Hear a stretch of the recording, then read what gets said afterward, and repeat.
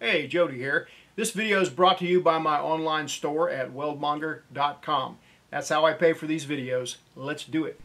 In this video, I'm going to be welding some 11 gauge 6061 T6 aluminum. I'm going to make a cube. I will show standard dip and pause techniques along with some pulse settings for running right over the wire using the lay wire technique on an outside corner. I'm using my crummy fixture plate here. It's a little bit overkill for just tacking up a cube, but since I've got it, I'm going to use it. I filed the edges off these two corners right here to leave a vent hole. I'm using 1 16th filler for the tack welds. I like to have my tack welds a little smaller than the final weld. Always good practice so you can't tell where the tack welds are when you're done. Good practice also is to wipe them down. I'm using some acetone here. They can look clean, they're not clean. They've got wire drawing lubricants and whatnot on them. Makes a difference. I started off using a tapered electrode for the tack welds. That gives you a better arc start for low amperage arc starts on aluminum. And it'll round a little bit more as I go and as I get on up to welding amperage, which is going to be around 130 to somewhere between 130 and 140 probably. I'll set the machine to 140 and I'll just use the foot pedal. Normally I'd probably just tack this by hand, holding it with one hand, tacking with another, but the fixture plate does make things super easy. Once I get two pieces tacked up, I'll put them together, line them up as square as I, as I can get them, with very few tacks so that I can bump it around, massage it. If, there, if there's any gaps, I can get them out of there. Here's a close-up of the tack weld and the arc start with that tapered electrode it lights up pretty crisp. It still wants to wander just a little bit.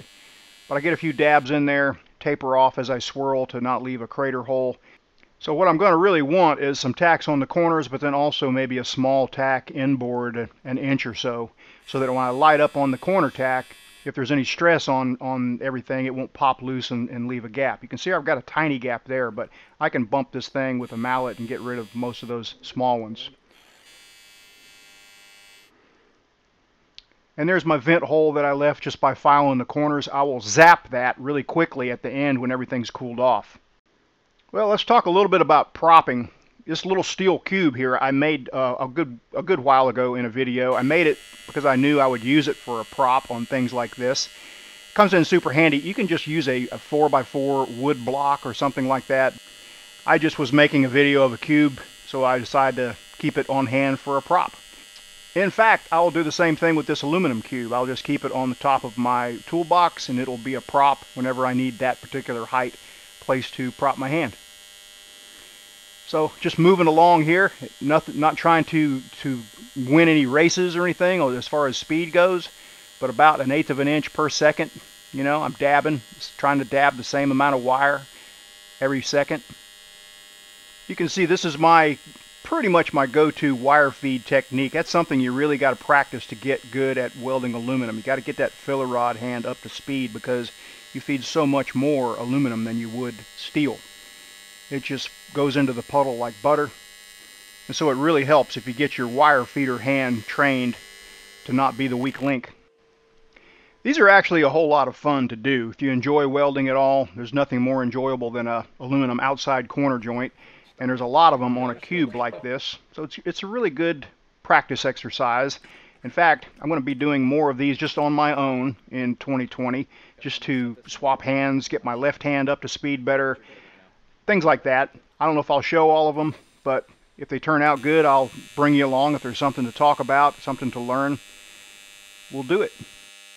Something that occurs to me right here is because I'm welding an aluminum cube on an aluminum fixture plate, if you don't weld uh, on the aluminum surface, a lot of times you'll get arc marks on your aluminum part, especially if you weld on a carbon steel table, especially if you weld on a carbon steel table with hot rolled uh, mill scale on it or whatever. But you know you can you can you can eliminate that possibility by a direct ground, a third hand, you know, providing the ground or, or things like that. But just another uh, another plus on this aluminum fixture plate for welding aluminum parts.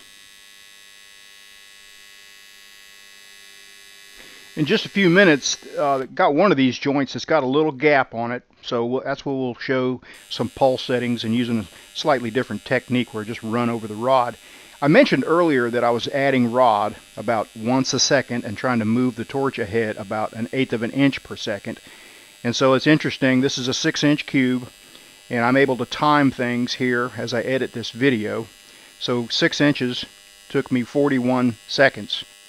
The exact number would be 48 seconds. So I went just a little bit faster than that. And that's just a rule of thumb, just something to establish some consistency. There are times when you can go a lot faster. There are times when you need to go a little bit slower.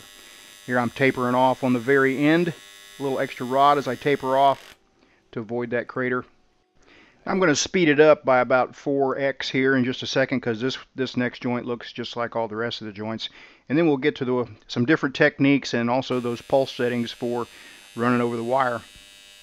Again, a very fun little project. I wish I, wish I could do these for a living, you know. That's the thing about production welding too is, is just, it's a two-edged sword. It allows you to get really good and really fine tune a weld, but it gets boring after a little while if you're doing hundreds and hundreds of the same exact thing. All right, I'm going to show now, this is a flex head torch, so this is a benefit of having a flex head torch. I can, I can get the angle that I want. I'm also going to be using my TIG finger as a little glide here, just to show if you need to do that on a, if you're welding on a boat or something where you can't turn the, the part around, sometimes you have to get weird angles. Having a flex head torch is kind of cool too for that because you can get the optimum angle. So I'm just going to glide along here and weld a joint just like I have been before, just a little bit different method of propping. Instead of propping on that little steel block, I'm just going to do the little slide and glide here. Usually there's something you can figure out, some way to prop on something, but sometimes it's difficult, especially on aluminum when it gets so hot. So it's just nice to have the prop in your pocket, and it's also nice when it slides along nice and smoothly along a smooth aluminum surface like this.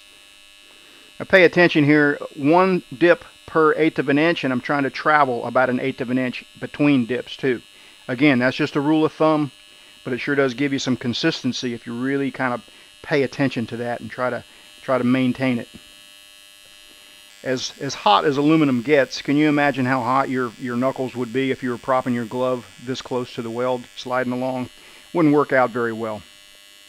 I remember getting an email from a guy one time whose wife bought him a TIG finger. He welded uh, aluminum fuel tanks and he was always burning his knuckles, hanging in there too long, trying to make the, the weld good as good as he could. And that's that's what we welders do. We hang in, suffer a little pain on the knuckles, and in order to make a good weld. And first day after using that thing, his wife said he had a huge smile on his face when he came home from work. So that made me happy. All right, we're going back to propping on the little steel prop block here. I did get a few more arc shots that I want to share with you here because I think they're pretty good. Thanks to the uh, clear number 8 Pro Cup there. Helps a whole lot in my filming so that you and I both can see everything. It lights up the way a lot too for me with my, uh, you know, my eyes that aren't quite as good as they used to be. Alright, getting toward the end. show one more little ending here of tapering off. Nice close-up of tapering off the arc as I add a little, just a little extra rod, swirl around to avoid that crater hole where there's a little bit of a gap. Now, not, I could easily weld that without using any special techniques. It's not a it's not a big gap, but I just thought it would be a good opportunity to show another technique of just running over the wire when you have a small gap. So I was using a 140 amps and using the foot pedal without pulse.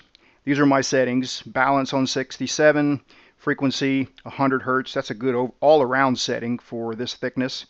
But with using pulse, I had to go up to 180 amps, one and a half pulses a second, 33% peak time, and 33% background. Worked out not too shabby. Again, you got to use you got to use more amperage when you use pulse in most situations, especially on aluminum.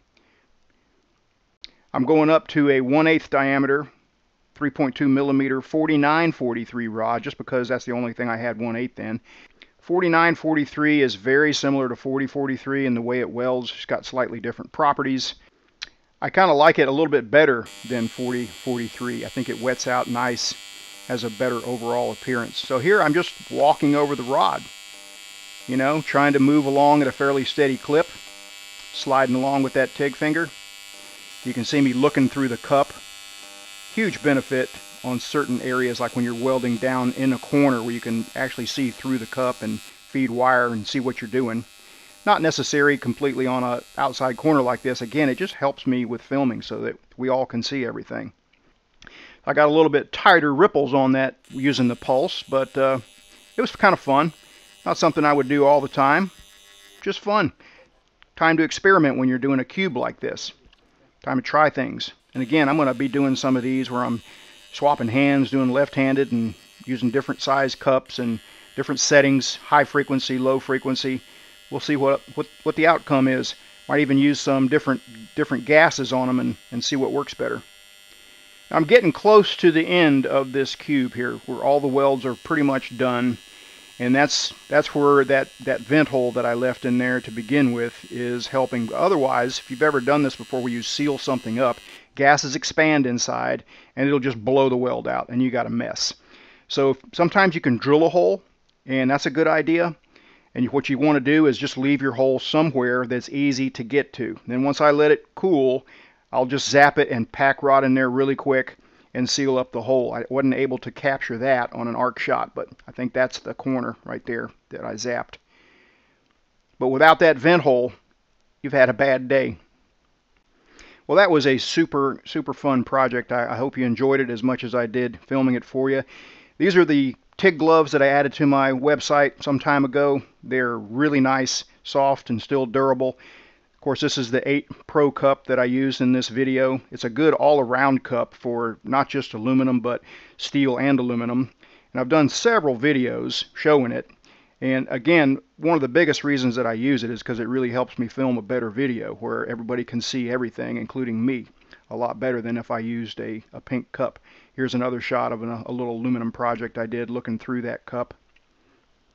But you can learn more about the cup my TIG fingers, the gloves that I have, and lots of other products that I've tried out and recommend and have used in videos. It's all at weldmonger.com. You can see here I've got a little bundle of the Furick 8 cup 4-pack as well as a TIG finger. You can save a little money there. And also you saw me using a 17 air-cooled torch in this video. And the Furick 8 clear cup works great on that torch, but it does require an adapter kit. But there's plenty of little infographics on my store to let you know what size torch you have and whether or not you need an adapter kit in order to use a 8 clear cup. Hope you enjoyed this video. If you're interested in any of this stuff, go check it out at weldmonger.com.